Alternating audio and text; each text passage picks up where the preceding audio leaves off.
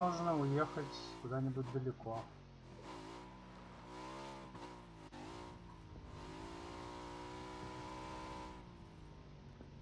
О!